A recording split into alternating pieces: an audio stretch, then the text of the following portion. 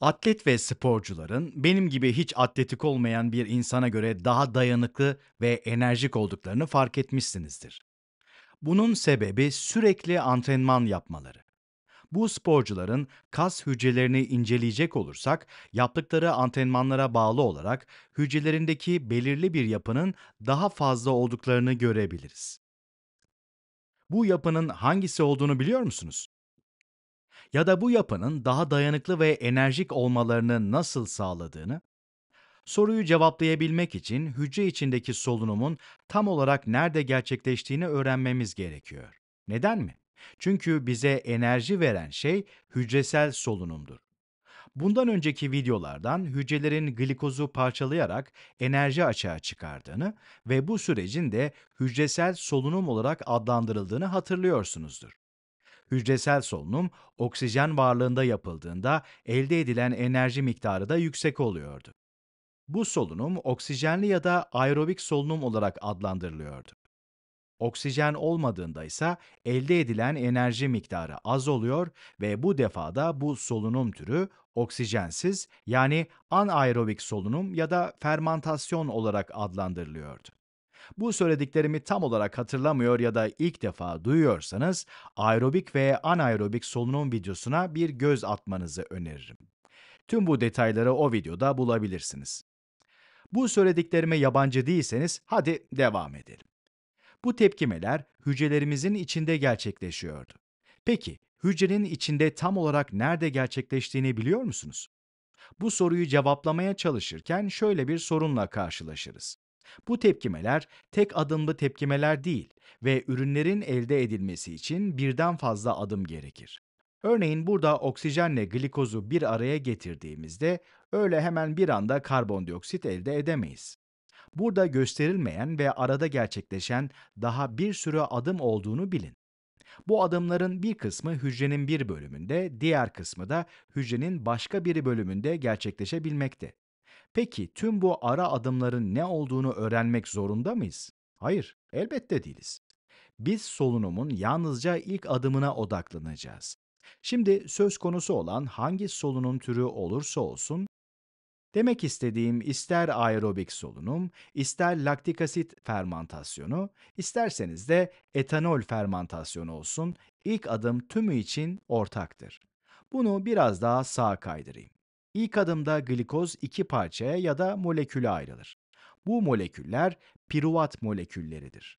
Glikozun parçalandığı bu süreçte piruvata ek olarak biraz enerji de elde edilir. Miktarının az olduğunu anlayabilmemiz için enerjiyi küçük yazacağım. Şimdi piruvat terimiyle ilk kez karşılaşmış olanlara soruyorum. Ne olduğunu biliyor musunuz? Bu aynı glikoz gibi bir moleküldür molekülün formülünü yakından incelemeyeceğiz ama size biraz detay vermek için glikozun 6 karbonlu, piruvatın ise 3 karbonlu bir molekül olduğunu söyleyebilirim. Glikozun ikiye ayrıldığını söylememin nedeni de aslında bu. Tabii ki ortadan ikiye ayrılmıyor. Ancak bu tepkimenin ilk adımının bu olduğunu bilmeniz şimdilik yeterli. Bu arada bu adım glikoliz olarak adlandırılır. Not ediyorum. Glikoliz solunum dendiğinde glikoliz kelimesi ilk akta gelen kelimeler arasındadır. Her ne kadar çok havalı bir isim gibi dursa da glikoliz kelimesindeki gliko, glikozu temsil eder. Evet, bu kısım glikozu temsil ediyor. Lisse parçalamak anlamındaki bir son ektir. Böyle incelediğimizde glikolizin aslında ne olduğunu anlamak çok kolay. Glikozun parçalanması ve zaten glikoliz esnasında olan da budur glikoz iki piruvat molekülüne parçalanır. Piruvat oksijen eşliğinde parçalanmaya devam ettiğinde aerobik solunum gerçekleşmiş olur. Şu an hücrelerimizde gerçekleşmekte olan olay budur. Piruvat parçalandığında ortamda oksijen yoksa da bu iki tepkimeden biri gerçekleşir. Bu tepkimeler arasındaki en önemli farklardan biri şu. Piruvat oksijen eşliğinde parçalandığında bu tepkimelerde de enerji açığa çıkar. Aerobik solunumda ortaya çıkan enerji miktarının yüksek olmasının sebebi de budur. Piruvatı oksijen olmadan parçaladığımızda ise çok fazla enerji elde etmeyiz. O halde neymiş? Piruvattan enerji elde edebilmek için elimizde oksijen olmalıymış. Aerobik yolu kullandığımızda glikoz, glikoliz sırasında piruvata parçalandığında ve piruvat parçalanmaya devam ettiğinde enerji elde ediyoruz. Oksijenli solunumu harika kılan da budur. Yani çok fazla enerji elde etmemizdir. Fermantasyon yolunu takip ettiğimizde ise yalnızca glikoliz sırasında enerji elde ederiz. Bu iki yolda piruvatın parçalanması sonucu enerji elde edilmez. Bu da fermantasyonda elde edilen enerjinin yalnızca glikoliz aşamasında elde edilmesi ve enerji miktarının az olması anlamına gelir. Ve artık videonun başındaki soruyu cevaplamaya hazırız. Bu tepkimeler nerede gerçekleşir?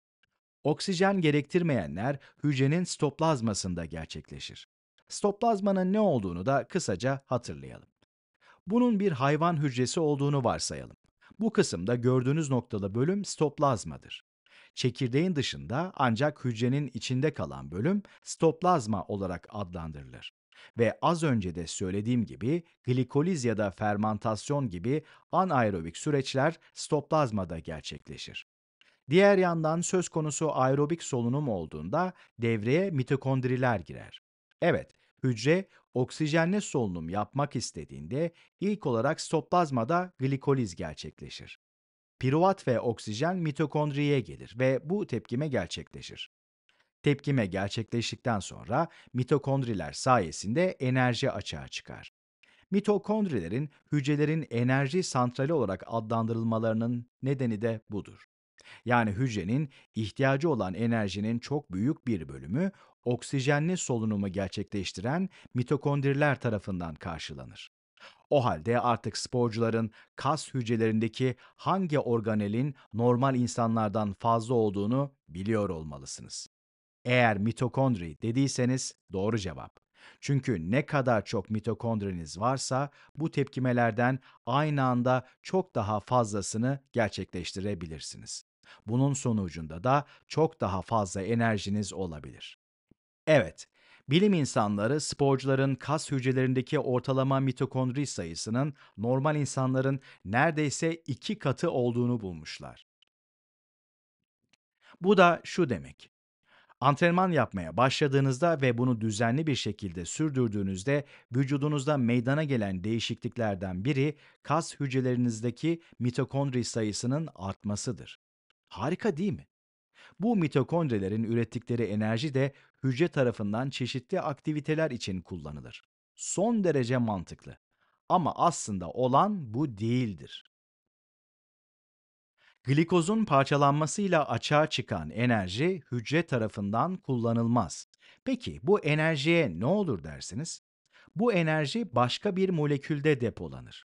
Bu molekülün adını biliyor musunuz? Bilmiyorsanız şimdi sahneye aslında son derece meşhur bir molekül olan ATP'yi çağırmak istiyorum. ATP ya da adenozin trifosfat. Uzun ismini ezberlemenize bence gerek yok çünkü herkes buna kısaca ATP der. Enerji ATP'de depolanıyor dedim. Öyle değil mi? Bunu ilk öğrendiğimde tam olarak ne anlama geldiğini pek anlamamıştım. Hemen açıklayayım. Farklı bir ekrana geçelim ve solunumu gözden geçirelim. Glikoz molekülüyle başlıyoruz. Evet, bu glikoz olsun. Hücre glikozu parçalıyor. Enerji açığa çıkarıyor. Ancak bu enerjiyi kullanmak yerine ATP adı verilen farklı bir molekülde depoluyor. Bu da aslında glikozdaki enerjinin ATP'ye aktarılmasından başka bir şey değildir. Öyle değil mi? Peki hücrelerimiz sizce bunu neden yapıyorlar? Bunun sebebi glikozun parçalanması sonucu çok fazla enerji açığa çıkması ve hücrelerin işlevlerini gerçekleştirmek için bu kadar fazla enerjiye ihtiyaçları olmamasıdır. Bu enerji miktar olarak çok fazla olduğundan hücreler enerjiyi daha ufak paketler halinde depolamayı tercih eder. Enerjiye ihtiyaçları olduğunda ise bu ATP paketlerini kullanırlar ve söz konusu ATP paketleri hücrelere tam da ihtiyaçları olan miktarda enerjiyi sağlar. Daha iyi anlamanıza yardımcı olması için enerjinin para olduğunu düşünelim. Glikoz bu durumda çok büyük bir banknot olacaktır. Diyelim ki 200 lira. Bu durumda ATP de 10 ya da 20 liralık banknotlar olacaktır. Bakkaldan şeker, çikolata almak istediğimde yanımda 10 ya da 20 lira olması 200 lira olmasından çok daha mantıklı değil mi? Bakkala bir tane şeker için 200 liralık banknot uzattığınızı düşünsenize. Öte yandan diyelim ki yolculuğa çıkacağım. Bu durumda illaki para harcamayacak olsam bile yanımda büyük banknotlar olması daha mantıklı değil mi? Çünkü her an paraya ihtiyacım olabilir. İyisi mi yanımda bulunsun. Ama tüm parayı 10 liralık banknotlar halinde taşıdığımı düşünsenize. Cüzdanım gittikçe şişerdi ve belki de başka hiçbir şey taşıyamazdım. İşte olay bundan ibaret. Ek olarak hücrelerin yerine getirmeleri gereken fonksiyonları aslında az miktarda enerji gerektirir. Bu da ATP'nin onlar için en uygun enerji formu olmasını sağlar. Enerjinin bir yerden başka bir yere taşınmasını gerektiren durumlar olduğunda ise enerjinin glikoz olarak taşındığını görürüz. Bu da enerjinin belki de en kompakt formudur. Enerjinin tamamı ATP formunda olsaydı bu çok fazla yer tutardı ki zaten ATP'nin kendisi de çok küçük bir molekül değildir. Evet, enerjinin vücudun bir yerinden diğer bir yerine taşınması gerektiğinde enerji kompakt ve tek bir molekül olan glikoz olarak taşınır. Hücrelerin enerji kullanması gerektiğinde ise enerji ATP olarak depolanır ve daha sonra da ATP formunda kullanılır. Enerjinin ATP olarak kullanılmasının bir diğer nedeni glikozdan enerji elde edebilmek için birden fazla adım gerekmesidir. Glikozun öncelikle piruvata parçalanması gerektiğini, piruvatın mitokondriye gelmesi gerektiğini, mitokondrinin ancak bir dizi tepkime sonucu enerji üretebildiğini az önce gördük. Demek istediğim bu olay anında gerçekleşen bir olay değildir. Öte yandan ATP'nin parçalanması ve enerjinin açığa çıkması tek adımlı bir süreçtir. Bu da enerji ihtiyacı ortaya çıktığı anda enerji elde edilmesi anlamına gelir. Bu durumda enerjinin ATP formunda tutulması ve kullanılmasını çok daha mantıklı kılar. Şimdi geriye dönecek olursak mitokondriler bu enerjiyi yalnızca açığa çıkarmakla kalmaz. Aynı zamanda enerjiyi ATP molekülüne depolarlar. Kısacası mitokondriden çıkan ATP molekülleridir ve bu ATP molekülleri hücre tarafından ihtiyaçları doğrultusunda kullanılır. Bir fikriniz olması için bir mitokondrinin bir glikoz molekülünden ürettiği ATP molekülü sayısı yaklaşık olarak 36'dır. Glikoz sitoplazmada piruvata parçalandığında ise yalnızca 2 tane ATP elde edilir. Oksijenli solunumda 2 artı 36'dan toplam 38 ATP molekülü elde edilir. Bu arada bu sayı ders kitaplarında olan sayı ve aslında değişiklik gösterebilir. Hatta bundan az da olabilir. Ancak fermantasyon sürecine değinecek olursak toplam 2 ATP elde edilir. Bunun nedeninin bir kere daha üzerinden geçelim. Oksijensiz solunum ya da fermantasyonda piruvatın parçalanması sonucu enerji elde edilmiyordu. Fermantasyon sonucu 2 ATP elde edildiğinden hücrelerimizde üretilen ATP'nin çok büyük bir bölümü mitokondrilerde gerçekleşen aerobik solunumla elde edilir. Öğrendiklerimizin üzerinden geçelim mi?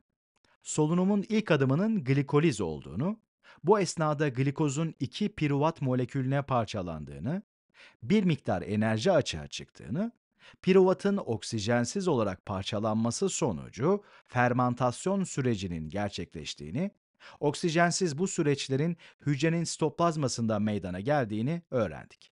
Ancak piruvat mitokondriye girerse ki bunun için oksijenli ortam lazımdı, bu sürecin oksijenli yani aerobik solunum olarak adlandırıldığını ve sonucunda yüksek miktarda enerji elde edildiğini öğrendik. Evet, oksijenli solunumun mitokondrilerde gerçekleştiğini öğrendik yani.